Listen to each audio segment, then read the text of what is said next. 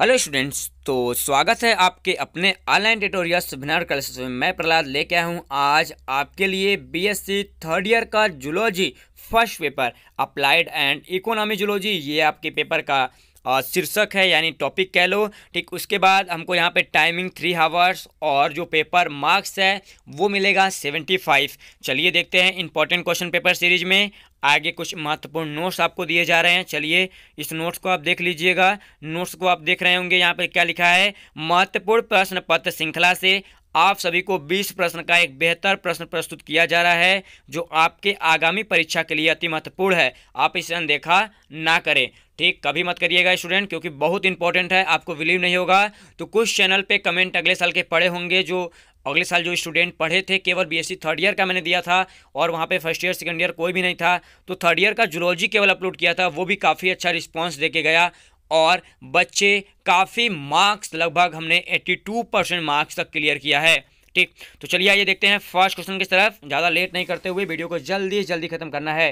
ठीक। चलिए यहाँ पे सबसे पहले फ़र्स्ट क्वेश्चन के पास चलते हैं तो क्या कह रहा है? ट्रिपेनोसोमा के जीवन चक्र व रोग जरण की व्याख्या कीजिए। ये पंद्रह नंबर का क्वेश्चन है कितने? फिफ्टीन मार्क्स के साथ आएगा तो देख लीजिएगा इसको, काफ़ी इंपॉर्टेंट्स हैं।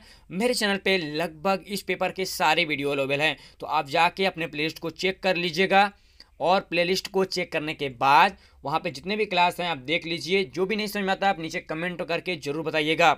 आगे बढ़ते क्वेश्चन नंबर टू के पास तो यहाँ पे क्या बोल रहा है? जियाडिया के जीवन चक्र, रोगजनक तथा रोग तथा इसके नियंत्रण का विवरण दीजिए। तो क्या देना है? जियडिया का लाइफ साइकिल बनाना है, मैं बनाया भी हूँ। ठीक, उसके बाद इसके रोग कैसे होते हैं, इसके नियंत्रण कैसे करें, दवाओं का क्या नाम होगा, इसके बारे में आप बताइएगा। ठीक, क्योंकि मैं कल लाइव क्लासेस में कई स्टूडेंट से पूछा तो लगभग कई स्टूडेंटों ने जवाब दिया था अपने और कि सर, ये वाला आंसर सही होगा। तो आप भी हर शुक्रवार और शनिवार मिल सकते हैं हमारे साथ स्पेशली लाइव क्लास में। तो चलिए आगे चलते हैं क्वेश्चन नंबर थ्री के पास। क्वेश्चन नंबर थ्री हमारे पास आ जाएगा। यहाँ पे क्या कर रहा है? गांधी बग। जो हमारा गांधी बग है, उसके बारे में बात कर रहा है। गांधी बग कीट से होने वाली हानि तथा इसके नियंत्रण का वर्णन करना है। ये भी पंद्रह नंबर का क्वेश्चन है। ठीक, आगे बढ़ेंगे तो आगे देखो क्वेश्चन नंबर चार क्या कह रहा है? कह रहा है क्वेश्चन नंबर चार कह रहा है कि गन्ने की पत्ती, भच्छी द्वारा होने वाले और जो क्षति है और उसके नियंत्रण है, उस पर चर्चा करना है। ये भी पंद्रह नंबर का आएगा। तो यहाँ पे शुगर केन का जो लिफ हाफर है, उसके बारे में हमको बताना है। ठीक तो चलिए आगे चलते हैं क्वेश्चन नंबर पाँच की तरफ़। ये क्या कह रहा है? रेशम कीट पालन विस्तृत वर्णन कीजिए। जो हमारा सेरिकल्चर होता है, सेरिकल्चर क्या है, इसके बारे में डिटेल स्टडी करके आप बताइएगा। इसका भी क्लास चैनल पे पढ़ा हुआ है। एक्सप्लेन, यहाँ पे कह रहा है explain, apiculture and useful product and obedience from its. तो यहाँ पे मधुमक्खी पालन तथा इससे प्राप्त उपयोगी जो उत्पाद होते हैं, उनका वर्णन करना है। ठीक एपीकल्चर जैसे शहद हमने पाया, उसके बाद पॉलन बी बनाते हैं, उनके साथ साथ जो पॉलन टैबलेट होते हैं, उनके बारे में बता दीजिएगा, काफ़ी अच्छा है। ठीक, क्वेश्चन नंबर सात की तरफ़ बढ़ते हैं तो क्वेश्चन नंबर सात क्या कह रहा है? कि और मच्छर जो हमारा मस्कीटो है, मस्कीटो के जीवन चक्र और उससे होने वाली बीमारियों पर चर्चा कीजिए। तो मैं लगभग इसका क्लास भी अवेलेबल कर दिया हूँ आपके लिए, आप जाके देख लीजिए प्लेलिस्ट में आपको मिल जाएगा। क्वेश्चन नंबर एट के पास चलते हैं। क्वेश्चन नंबर एट क्या कह रहा है? बीमारी फैलाने वाले दीमक तथा उसके रोकथाम का वर्णन कीजिए। ऐसे कौन से हमारे पेस्ट होते हैं? ठीक, जो थर्मल प्लेस्ट है पेस्ट हैं, उनके बारे में बताइएगा आप। यहाँ पे, ठीक सॉरी यहाँ पे देखो टर्मल और टाइपिंग में गलती हो गया है तो यहाँ पे टर्मिट कर लीजिए आप। टर्मिटो ठीक describe termite pest and their control ठीक तो इसको कर लीजिएगा। टर्मिट उसके बाद आगे बढ़ते क्वेश्चन नंबर नाइन की तरफ़। तो यहाँ पे क्या है? कुक्कुट पालन। क्या है? कुक्कुट पालन से आप क्या समझते हैं? चर्चा कीजिए। तो यहाँ पे पोल्ट्री फ़ार्मिंग की बात कर रहा है तो कुक्कुट पालन आप देख सकते हैं, बड़ा आराम से। मुर्गी पालन भी इसको कहते हैं। तो इसको चर्चा कर लीजिएगा। ये पंद्रह नंबर का क्वेश्चन है, बड़ा इंपॉर्टेंट है। मैं पढ़ा भी दिया हूँ इसको। आपको वीडियो मिल जाएगा अपने प्ले में। क्वेश्चन नंबर टेन के पास चलते हैं। तो यहाँ पे क्या कर है? जो हमारा इक्वा कल्चर होता है इक्वा कल्चर पे भी हमको निबंध लिखने हैं। पंद्रह नंबर का है, बहुत इंपॉर्टेंट है, याद करिएगा इसको। आगे बात करते हैं बोचेरिया जो हमारा बोचेरिया ब्रंकेप्टाई है, क्या है? बोचेरिया ब्रंकेप्टाई है, उसका जीवन वृंत यानी लाइफ साइकिल बताना है, संक्रमण की विधि बताना है रोग जनकता के बारे में बताना है तो इसका भी क्लास मिल जाएगा प्लेलिस्ट में। सारे क्लास लगभग अवेलेबल हो गए स्टूडेंट, आप जाके देखते रहिए और अपने आंसर के लिए कॉपी पे सही तरीके से नोट्स क्लियर करते रहिए। आगे बढ़ेंगे क्वेश्चन नंबर बारह की तरफ़ तो यहाँ पे क्या कह रहा है? झिंगा पालन पर एक निबंध लिखिए। तो झिंगा पालन क्वेश्चन नंबर बारह कह रहा है तो आप देख लीजिएगा, काफ़ी इंपॉर्टेंट है।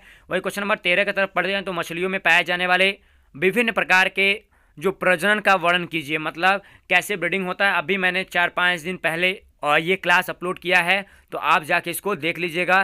ठीक, मैं वहाँ पे ब्रीडिंग करने की अलग अलग मेथड को काफ़ी अच्छे से, काफ़ी सरल भाषा में हिंदी में आपको समझाया हूँ। आप सही तरीके से देखकर उसको वेरीफाई करके अपने नोट डाउन कर लीजिए, आपका आंसर पूरा हो जाएगा।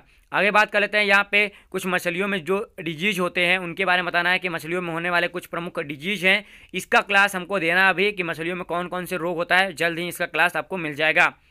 वही क्वेश्चन नंबर पंद्रह की तरफ़ बढ़ते हैं तो क्वेश्चन नंबर पंद्रह क्या कह रहा है? वन्य प्राणियों से आप क्या समझते हैं? इसके महत्व का वर्णन कीजिए और वन्य प्राणियों के विलुप्त होने के कारण पर प्रकाश डालिए।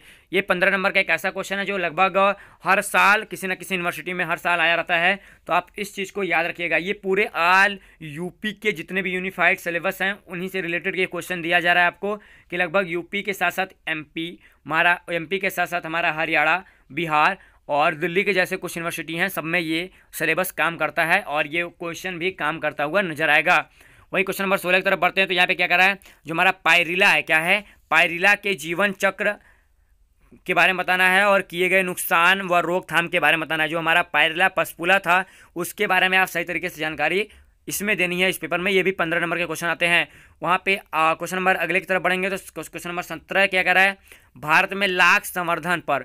जो हमारा लाख कल्चर होता है, उसके बारे में बताना है। ये सात नंबर का क्वेश्चन है सेवन पॉइंट फाइव मार्क्स को लेकर आता है। तो आप इसको ध्यान दीजिएगा। वहीं क्वेश्चन नंबर अठारह के पास चलते हैं। क्वेश्चन नंबर अठारह क्या कह रहा है? कि भारत में विविध प्रकार के राष्ट्रीय उद्यानों पर प्रकाश डालिए। जो क्या है? नेशनल पार्क इन इंडिया है, उनके बारे में बताइएगा। कौन कौन सा राष्ट्रीय उद्यान कहाँ पाया जाता है? लगभग मैं इनके बारे में थोड़ा सा इंट्रो एक वीडियो में दिया हूँ। आप जाके देख सकते हैं।